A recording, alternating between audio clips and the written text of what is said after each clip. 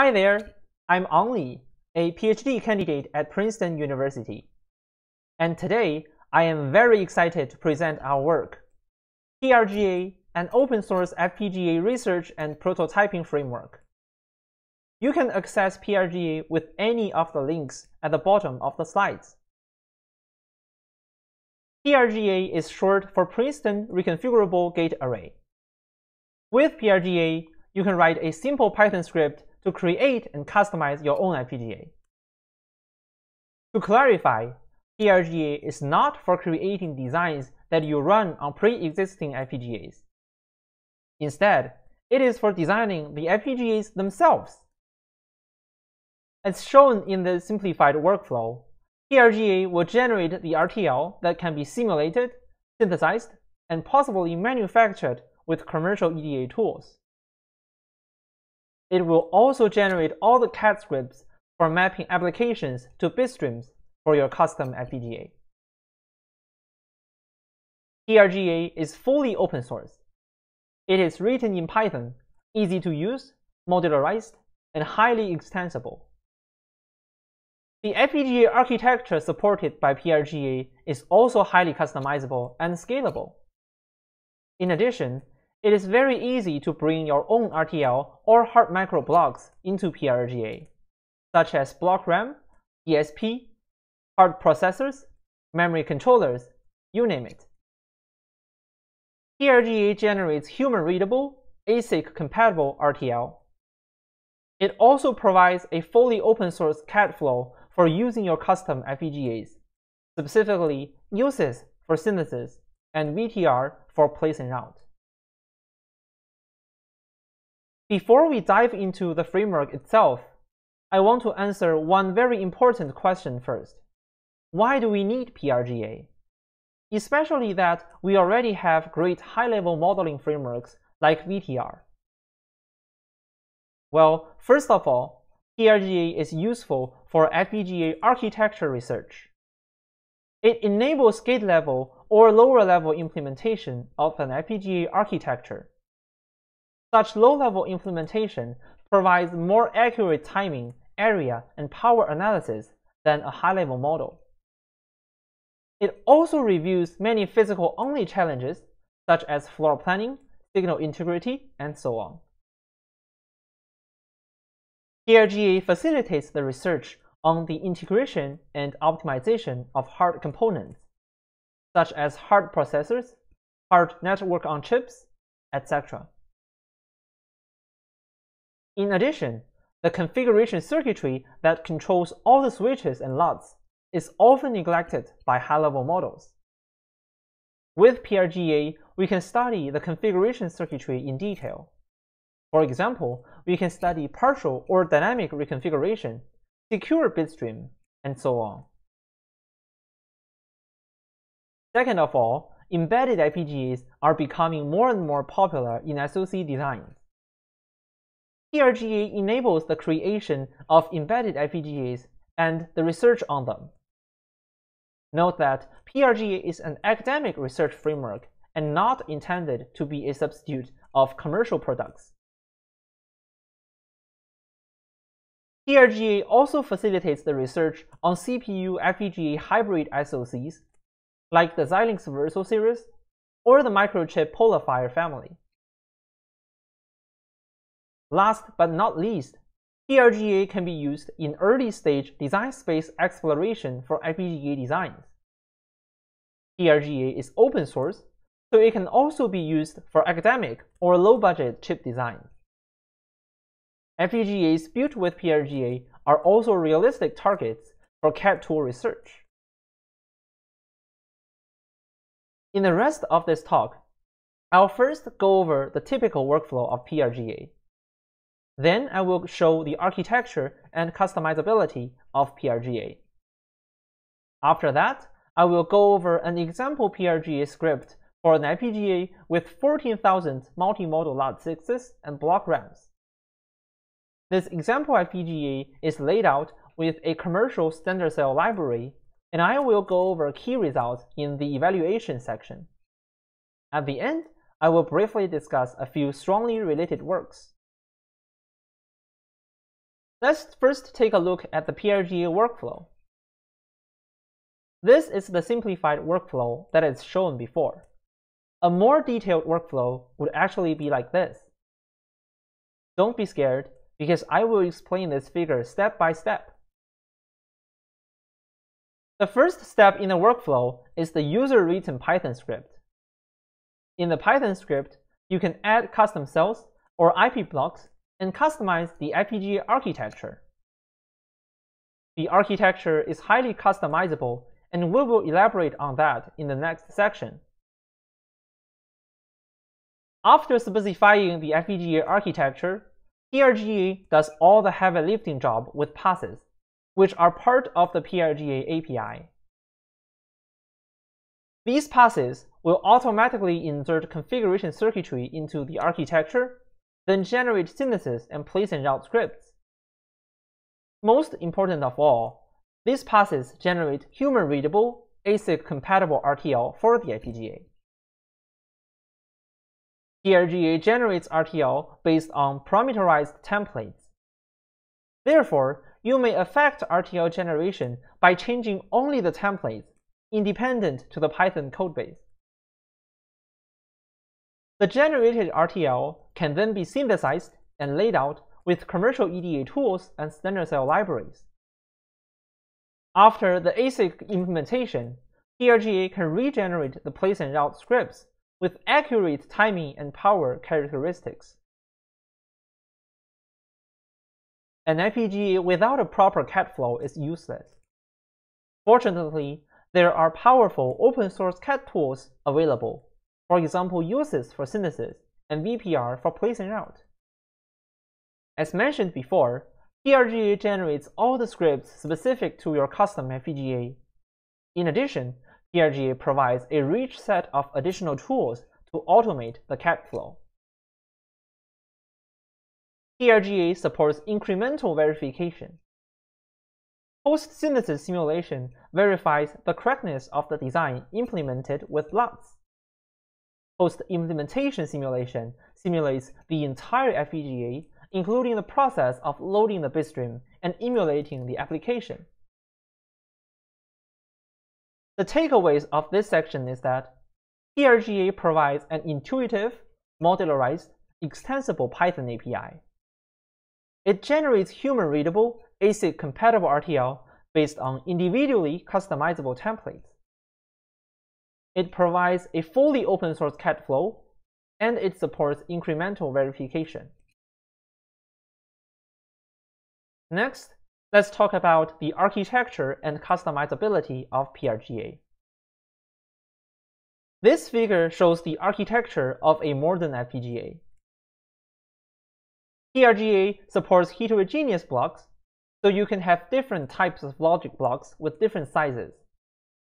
The toy FPGA in this figure has two CLBs containing LUTs and flip-flops, plus one block RAM which is two tiles big. PRGA also allows you to customize the routing resources. You can customize the length, count, and combination of routing tracks. Global wires like clock or reset are also supported, so are directed, direct carry chains that bypass the routing tracks. Let's dive into a logic block. PRGA supports a variety of logic primitives, including the basic LUTs, flip-flops, adders, etc., as well as multimodal primitives or even large complex hardwired components. You are also well supported and welcome to bring your own hardware design into PRGA or implement your own multimodal primitives. The local connections in the CLB are fully customizable on a per pin per wire basis. The connection and switch boxes are also highly customizable. PRGA provides a rich set of built-in routing patterns for the common use cases. Moreover, each routing box can be individually customized on a per wire per box basis, giving you the full control over the architecture. Besides the customizable blocks and so on, one of the most important features of PRGA is its highly flexible, ASIC-friendly module hierarchy. there are a few challenges when doing the layout for an FPGA. There are many different types of blocks and even more types of routing boxes. For example, the toy FPGA in this figure has 9 different switch boxes and 10 different connection boxes. This not only requires a lot of backend efforts, but also makes floor planning a big challenge. Ideally, we'd like to maximize the regularity of the architecture as well as the reusability of the physical blocks we build. For large designs, we also want to achieve good scalability, and the best way is to build the array hierarchically. Addressing this challenge, PRGA supports divisible routing boxes. As shown in this figure, each switch box can be divided up to four parts, and each connection box can be divided up to two parts. With the divisible routing boxes, we can create regular, reusable, hierarchical arrays. This gives the FPGA designers more freedom to choose their ASIC implementation strategy.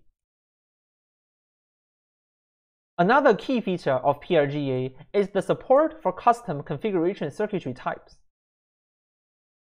PRGA comes with two types of fully functional configuration circuitry types, scan chain and packet chain.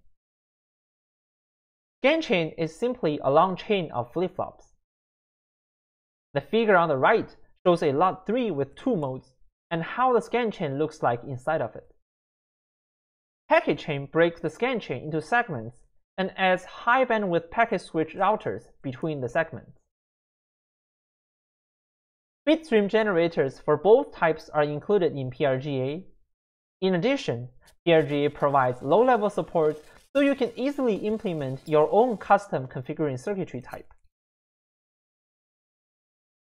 The takeaways of this section are PRGA supports fully customizable heterogeneous blocks and a large variety of logic primitives. PRGA supports divisible routing blocks and features a customizable ASIC-friendly module hierarchy. PRGA also supports custom configuration circuitry types. Alright, that's a lot of overviews.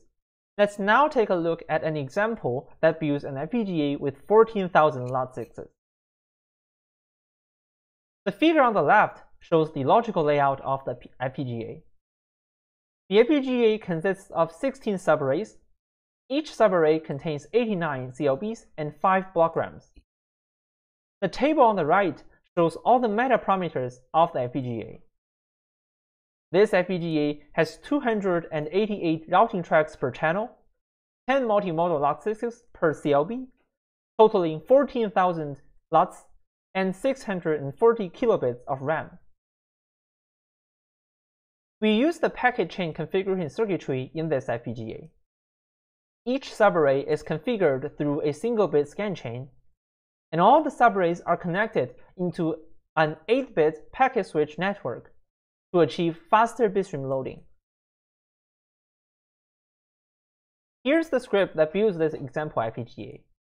Now let's take a look at some of the highlights in this script. At the beginning of the script, we select the configuration circuitry type and initialize PRGA we create the routing resources, including a global clock and two types of routing tracks. Then we create a multimodal memory primitive. All the necessary multiplexing logic and mode selection logic are included in this one-line statement.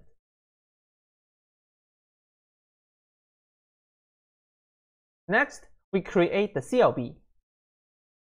And we have the full control over the inputs and outputs of the block. Now we instantiate 10 multimodal LUT6s in the CLB.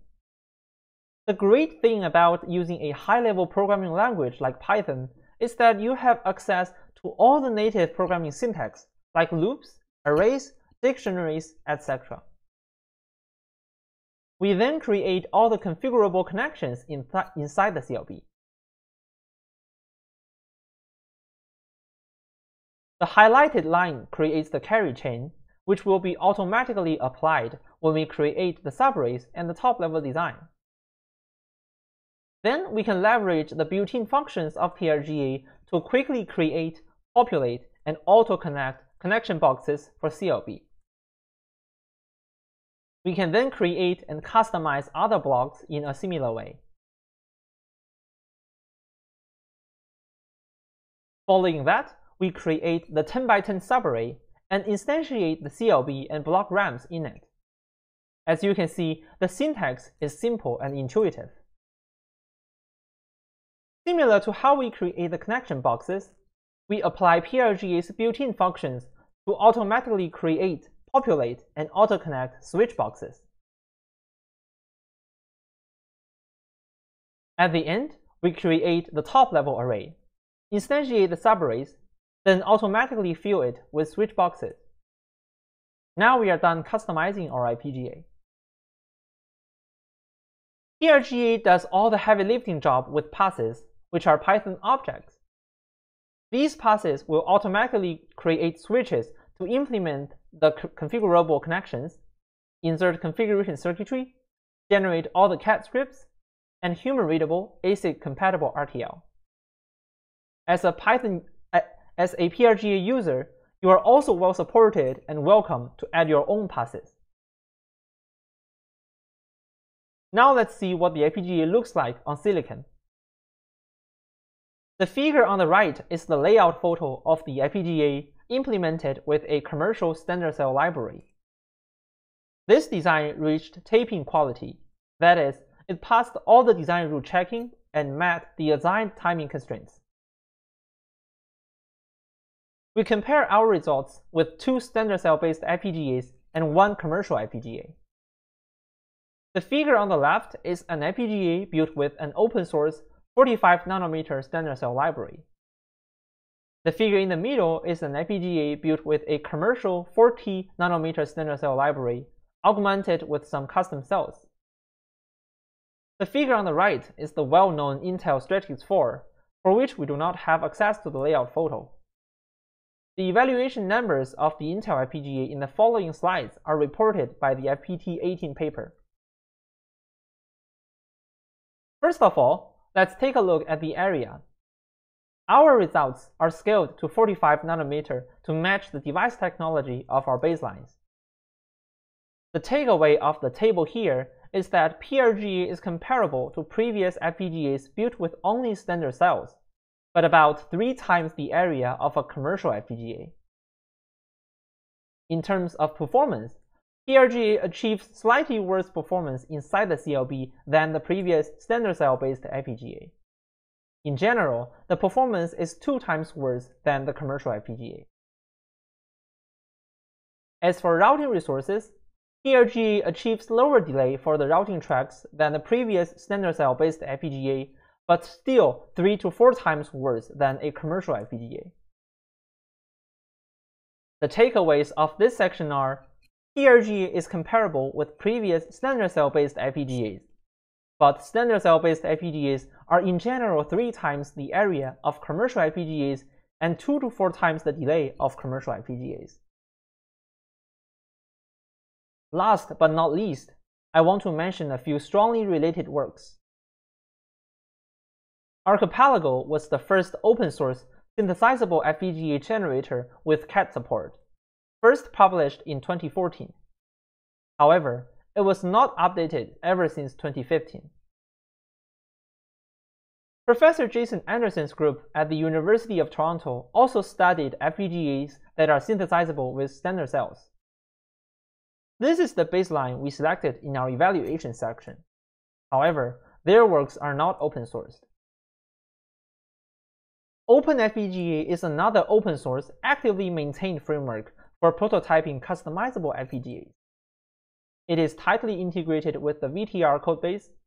It shares many common features with PRGA and emphasizes on gate level customization, for example mux and buffer tree constructions.